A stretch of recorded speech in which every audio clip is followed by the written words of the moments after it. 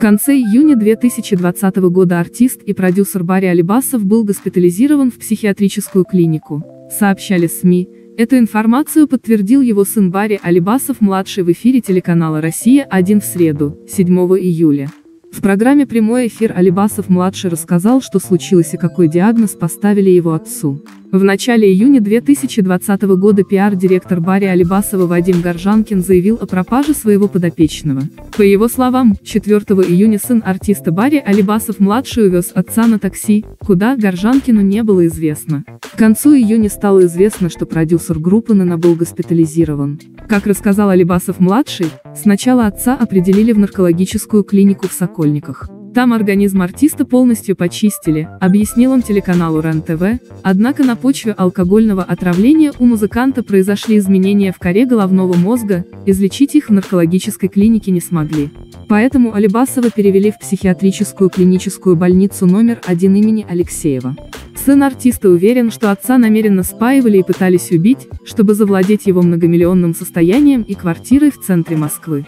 Во время телеэфира Алибасов-младший назвал именно тех, кого считает виновными в нынешнем состоянии отца.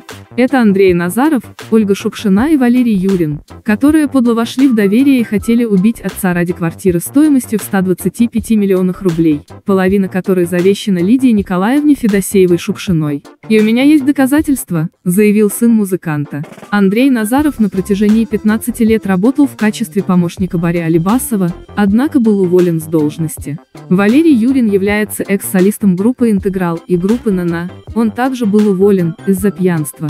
А Ольга Шукшина приходится дочерью актрисе Лидии Федосеевой Шукшиной, которая с ноября 2018 года официально является супругой Барри Алибасова. Как рассказал Алибасов-младший, он подал официальное заявление в полицию на этих троих граждан. По его мнению, виновных сразу по двум статьям – покушение на убийство и кража.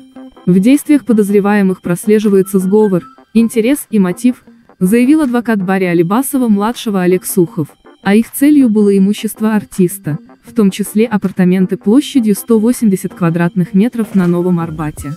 Более того, у стороны обвинения имеются видеозаписи и другие доказательства, подтверждающие злой умысел.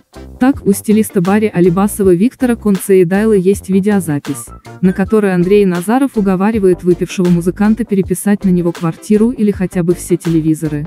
Кроме того, Барри Алибасов-младший утверждает, что Назаров и Юрин опоили и обокрали его самого и это зафиксировали скрытые камеры, установленные в квартире. Официальный диагноз Алибасова – корсаковский психоз, который возникает на фоне чрезмерного употребления алкоголя. Об этом Барри Алибасов-младший заявил телеканалу РЕН-ТВ. Также сын продюсера отметил, что докторы не могут гарантировать полное восстановление отца.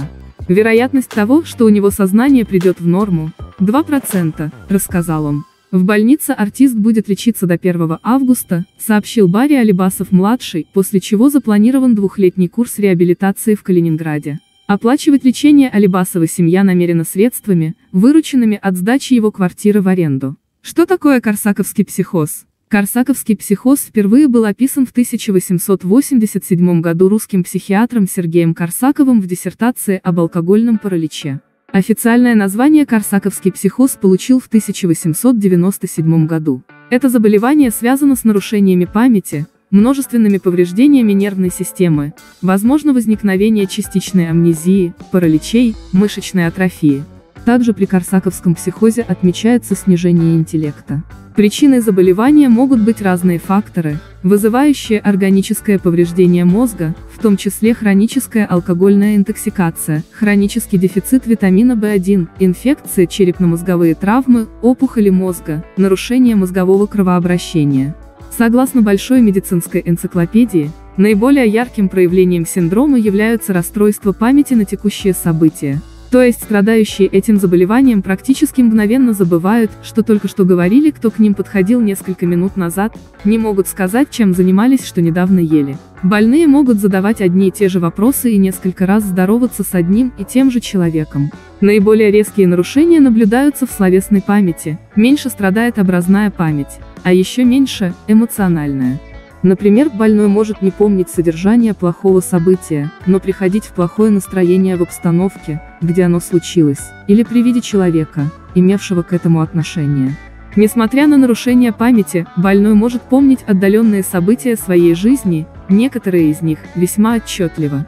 Однако то, что происходило непосредственно перед заболеванием, как правило, полностью выпадает из памяти. Это называется ретроградной амнезией. Также среди проявлений Корсаковского синдрома отмечаются проблемы с ориентировкой во времени и пространстве, ложные воспоминания и ложное узнавание, когда больные видят в незнакомцах людей, с которыми встречались ранее. Лечение корсаковского психоза зависит от сопутствующих заболеваний и, как правило, носит симптоматический характер.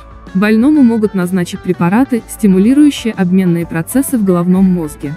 Если синдром возник из-за дефицита витамина В1, могут применяться внутримышечные инъекции витамина и вместе с диетой с повышенным содержанием белков и пониженным углеводов. Спасибо за внимание. Подписывайтесь на мой канал в Дзене и Ютубе. И ставьте лайки, мне будет приятно.